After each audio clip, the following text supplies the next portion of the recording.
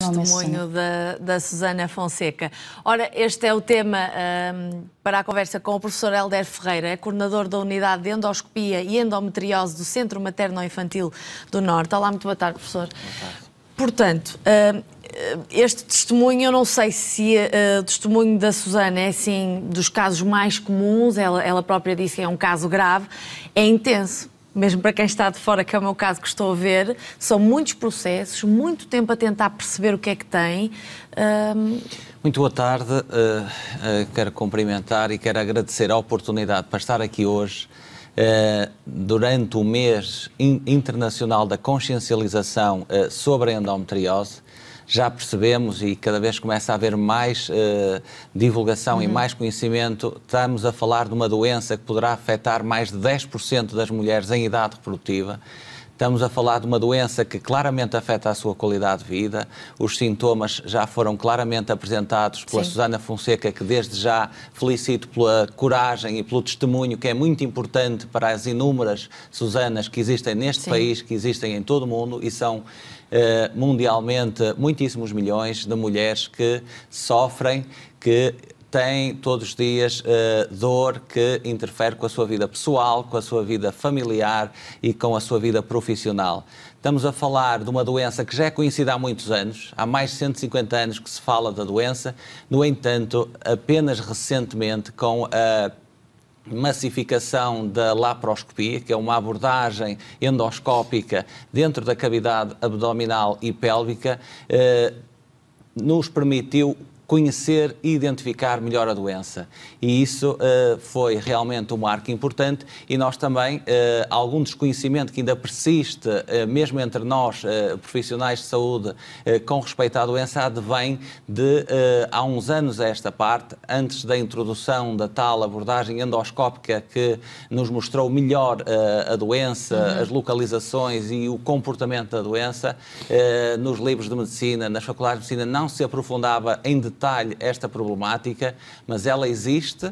Não é normal ter dores durante a menstruação, não é normal ter estes sintomas e devemos uh, ter a responsabilidade de informar o melhor possível para podermos tratar mais e melhor cada vez uh, um número uh, alargado de mulheres. Mas a Susana dizia isso mesmo. Aliás, as mulheres são super acompanhadas, não é? Eu diria que nós passamos a vida, muitas vezes, ir ao ginecologista ou ao obstetra, depois na fase de gravidez. Como é que a Susana viveu 14 anos, não é? Sem perceber que tinha uma doença. Achava que os sintomas eram normais, tinha que lidar com eles eh, como todas nós, no fundo, porque isto é muito, muito, muito comum, viver com dor menstrual. Essa é precisamente a importância de organizarmos este tipo de iniciativas para transmitir conhecimento, para uh, permitir que cada vez uh, menos tempo aconteça entre o início dos sintomas uh, e estes quadros mais graves, mais complexos, e isso poderá fazer toda a diferença em termos de sucesso reprodutivo, ou seja, de capacidade de ser mãe, em termos de qualidade de vida. Por isso é que a aposta deve ser na detecção precoce da doença, termos que mudar alguns paradigmas existentes, por exemplo, esse que referiu da dor normal durante a menstruação. Para mim é, é, normal. Como já, como já referi, pois. e uh, muitas vezes temos esta doença uh, por trás, que é uma doença heterogénea, uma doença complexa, que muitos, muitas vezes também pode ser assintomática, e é por isso que muitos casos não são diagnosticados no início e podem ser diagnosticados numa fase mais tardia. Mas sempre relacionado com a infertilidade ou não? Ou percebi mal? Às vezes isto é investigado por causa de um problema de infertilidade ou de aparente infertilidade? A infertilidade uh, associada à endometriose é muitíssimo comum, pode afetar 30% a 40% dos casos de mulheres portadoras de endometriose.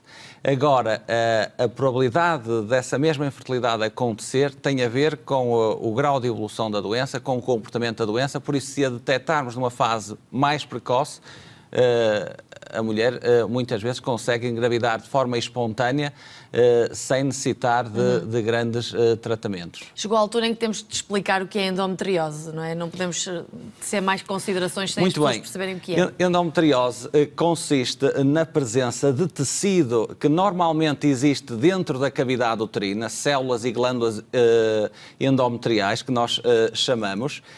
quando elas estão fora do útero, temos endometriose. E ela existe mais comumente na pelve, que é a, a região mais afetada, os ovários, as trompas, mas pode atingir também o intestino, pode atingir a bexiga, pode atingir outros órgãos importantes da cavidade abdominal. Enfim, ela tem sido identificada em praticamente todos os órgãos da mulher, mas claramente ela tem início na pelve e é aí nessa localização que nós encontramos na nossa prática clínica a maior parte dos casos. Uh, quando uh, essa, uh, esse tecido endometrial está fora do útero, o que é que acontece? Vamos, vamos supor que, por exemplo, uh, temos aqui o intestino, a parede intestinal, temos aqui um implante de endométrio. há várias teorias para explicar a causa da doença, mas uma das teorias é a menstruação retrógrada, ou seja, a mulher não menstrua tudo por via vaginal, não é expulsa completamente a menstruação, uma parte da menstruação que reflui retrogradamente através das trompas e cai em diferentes órgãos da pelva, pode cair no ovário, na trompa, no intestino intestino, mas vamos supor que eh, cai uh, em cima do intestino. Vamos fazer uma analogia. O que é que acontece? Esse implante de endometriose, de tecido endometrial, uh, vai sofrer a mesma estimulação hormonal que sofre aquela camada que está dentro do útero. E o que é que acontece com os estrogénios numa fase inicial do ciclo? Há um espessamento dessa camada, como se fosse o forro que prepara o interior do útero para receber um bebê, e esse espessamento, depois de uma fase mais avançada do, do ciclo menstrual, recebe uma outra hormona que é a progesterona, que aumenta a vascularização, ou seja, a criação de, de novos vasos, e isto vai dar inflamação, vai despolutar o mecanismo inflamatório, vai dar inflamação e vai e vai dar dor. E o que é que acontece? E, e sangra durante a menstruação é como estes focos menstruassem, tivessem atividade como se fosse o mesmo tecido que está dentro do útero. E o que, é que acontece? Os órgãos envolventes, que podem ser as trompas, os ovários, o intestino, em contacto com o sangue, é a mesma coisa que nós temos uma ferida numa mão. Se pusermos uh, algodão, passar dois dias tentarmos uh, arrancar aquele algodão, o que é que acontece? Vem atrás, vem atrás a pele, vem a crosta, ou seja, desenvolvem-se aderências entre o intestino, os e ovários. Não cura. E essas aderências muitas vezes uh, são a principal causa da infertilidade, porque causam distorção da anatomia, as trompas ficam uh, aderentes aos ovários, ao intestino, e depois as trompas que servem como uh, canalículos que, que, ligam o útero aos ovários e depois permitem a fecundação, tanto as trompas repuxadas por essas aderências não fazem a sua função, ou seja, temos um quadro de infertilidade associado. Isto é uma analogia para as pessoas perceberem não, o assim que é, é que fácil. acontece perceber. Endometriose é tecido endometrial fora do útero e onde ele está tem atividade e chega mesmo a menstruar se a mulher não fizer uh, um, uma medicação para bloquear a, a menstruação, como uma pílula, por exemplo. Ah, com uma pílula. Portanto, eh, pode-se fazer medicação e depois até há cirurgias, conforme a Susana falou há pouco. É preciso é ser diagnosticado. Porque é que isto é tão pouco uh, divulgado? Falando, é falando, falando novamente da laparoscopia, que permitiu. Laparoscopia é aquilo que as pessoas conhecem como os que furinhos, consiste é? numa, numa entrada uh, com uma câmara de filmar dentro da, da barriguita, digamos assim, uh, que uh, a Susana menciona no, no, seu livro, e permite ver claramente se há implantes, se há nódulos, se há aderências associadas à endometriose. E o que é que, o que, é que permite também? Permite identificar e permite tratar, permite remover os tais implantes que sangram e que são estimulados durante a menstruação, permite libertar as aderências e pôr a anatomia uh, no lugar certo, por exemplo, pôr as trompas de forma a ficarem permeáveis e uh, possibilitar uma gravidez espontânea.